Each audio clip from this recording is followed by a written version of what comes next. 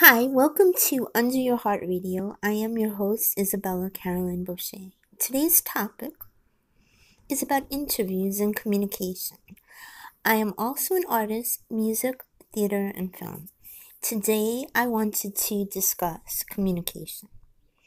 Last week, I had an interview on the radio. It was interesting and thought provoking, although I feel I did not present myself correctly, which can happen to many artists.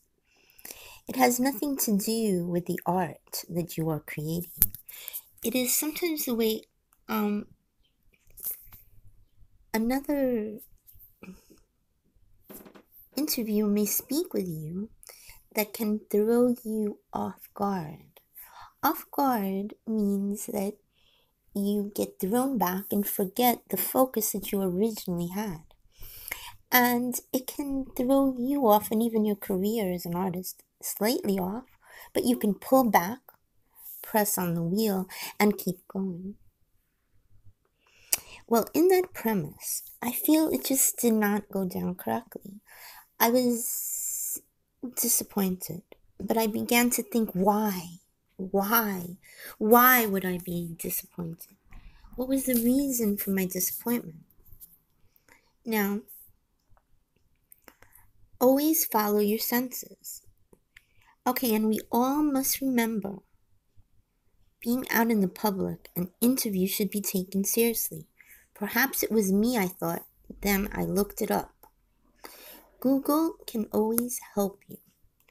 And see, I felt this is pivotal to an interview.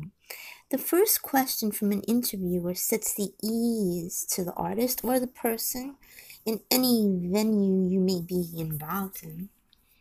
A comfort, you know, so you feel respected, warm, and ready to go and speak.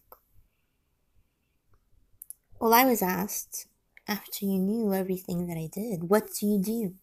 And that what do you do? I started to wonder, what do I do right now?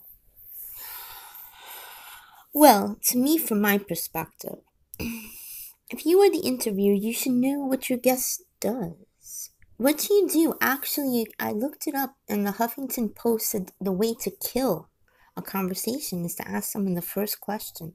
So what do you do? Already the person's pulled back, torn up, and just does not, does not, does not, does not want an answer. Like, why would you want an answer? To me, this question is just too vague, too general, and open to too much. I answered with pardon me as it led to an uncomfortable energy. And it was true because it went down right after that. What do you do? You could do anything. I was sitting, that's what I do. But it was about the music. It was never supposed to be presented that way. In my presumption, questions should be specific, as a question opens the door to many interesting interviews.